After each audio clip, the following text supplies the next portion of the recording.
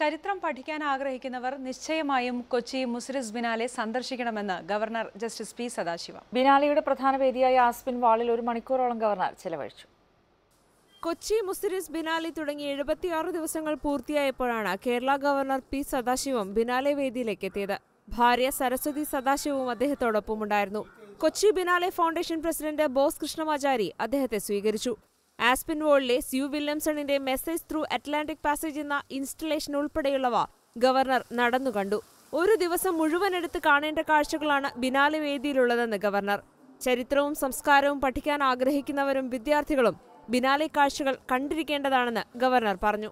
More particularly students who are studying history about our forefathers they must come and see and visualise the importance and knowledge of our forefathers, are great forefathers. മനോഹരമായ കാഴ്ചകൾ ഒരുക്കുകയും കലയെക്കുറിച്ച് പൊതുജനങ്ങളെ ബോധവൽക്കരിക്കുകയും ചെയ്ത biennale ഫൗണ്ടേഷനെയും സർക്കാരിനെയും അഭിനന്ദിച്ചുകൊണ്ടാണ് governor biennale വേദി വിട്ടത് Asianet news Kochi